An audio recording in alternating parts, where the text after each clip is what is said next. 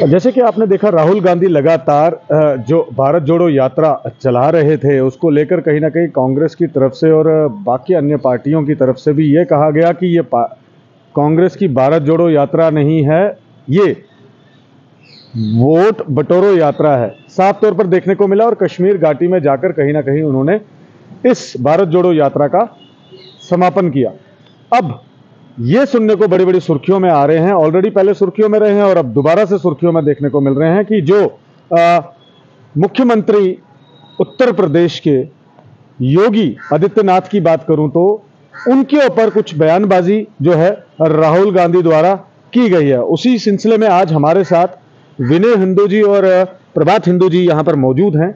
इनसे बातचीत करेंगे और जानने की कोशिश करेंगे कि क्या वो बयान जो योगी आदित्यनाथ के लिए कहे गए हैं उसको लेकर क्या कहते हैं? पहले तो आपका स्वागत है समीक्षा न्यूज़ नेटवर्क में। क्या कहेंगे विनय जी अ, किस तरीके से ये जो राहुल गांधी ने जो बयान दिया है इसको कैसे देखते हैं?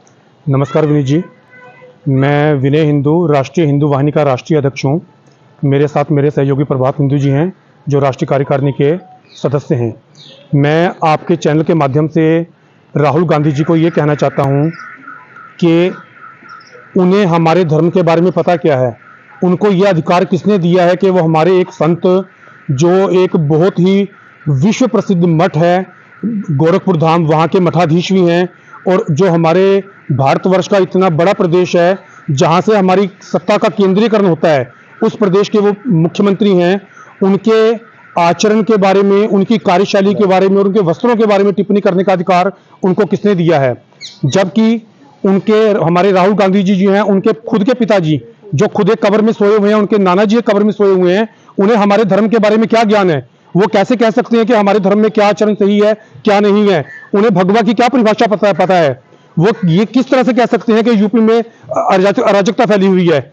जबकि उनको अपने अंतःकरण में झांकना चाहिए, जब उनके शासनकाल में इस देश में क्या हुआ था? इस देश में भ्रष्टाचार चरम सीमा पे था। इस देश में कोई ऐसा दिन नहीं था जिस दिन कोई घोटाला नहीं होता था। जब से प्रदेश में उत्तर प्रदेश के भाजपा की सरकार आई है, हमारे योगी आदित्यनाथ जी ने मुख्यमंत्री का पद संभाला है, जो आम नागरिक है, वो अपने आप को सुरक्षित समझता है। उत्तर प्रदेश में वो भी समय था, शाम के समय महिलाएँ घर से बाहर नहीं निकल पाती थी।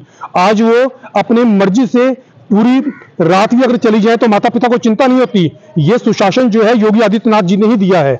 तो जैसे कि आपने साफ़ तौर पर तो ये कहा कि वहाँ पर महिलाएँ नहीं घूम पाती थी और कहीं ना कहीं वहाँ पर गुंडागर्दी का राज चल रहा था पहले भी। मगर अब जो है जब से योगी आदित्यनाथ लगातार मुख्यमंत्री का पद जो है वहाँ पर उन्होंने बने हैं। तो मगर कहीं ना कहीं क्या लगता है आपको कि उससे वहाँ पर सामान्य हालात हो गए हैं? और मगर ये जो बयान की बात करूँ मैं राहुल गांधी के जिन्होंने साफ़ तौर पर कहा है कि वो जो साधु का चोला पहन के घूमते हैं। ये अपना ये साधु नहीं है या उन्होंने जो और कुछ भी उनके लिए कहा है उसको कैसे देखते हैं? सबसे पहले तो उसी की बात करूँगा मैं। जी मैं उसकी घोर निंदा करता हूँ और अपने राष्ट्रीय हिंदू वाहिनी के राष्ट्रीय अध्यक्ष होने के नाते अपने मैं पूरे ज़ोर देकर कहता हूँ कि वो ऐसी बयानबाजी से बाज जाएँ।